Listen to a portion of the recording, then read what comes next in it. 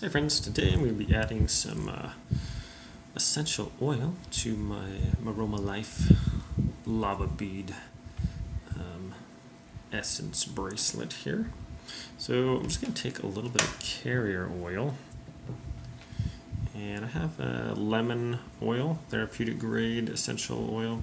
Now not all essential oils can be put on your skin so I'm just going to be careful with that. So I'm going to open this up. And basically, I'm going to get a little bit of carrier oil in my hand. Now this is pure fractionated coconut oil.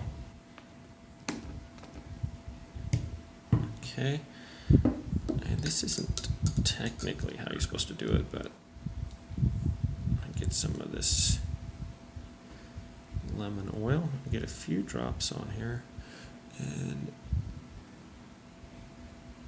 I'm just going to do three little tiny drops there. You can smell it already. Okay, and then you can just kind of mix that around. The carrier oil helps dilute it.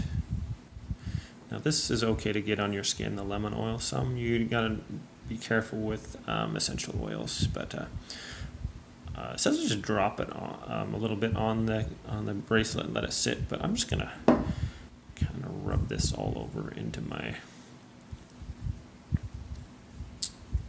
into my lava beads there.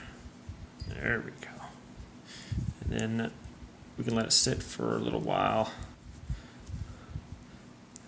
I guess this technically isn't necessarily going with the instructions, but uh, anyways.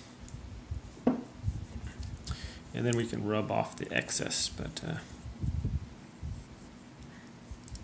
That. Why it smells really good, that's for sure.